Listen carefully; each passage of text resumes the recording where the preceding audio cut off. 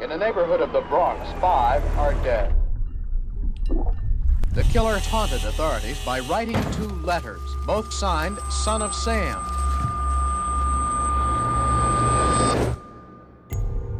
Why didn't you tell me things had gotten so bad?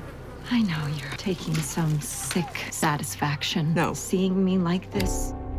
June E. Leigh published her first novel at the age of 28. This condition, it's all in your head.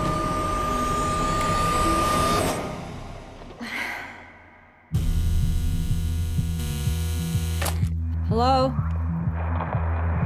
Is anyone there?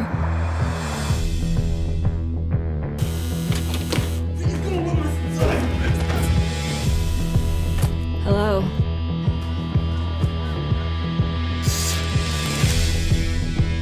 Better heat continues throughout the five boroughs.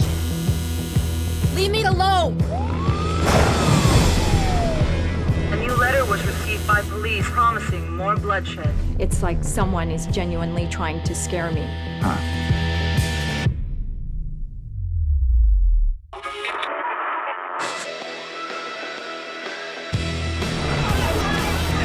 People get nuts out there in that heat.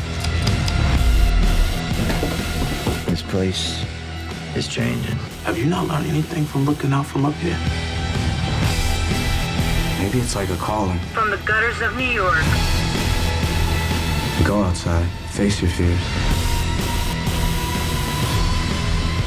It's something much more sinister than that.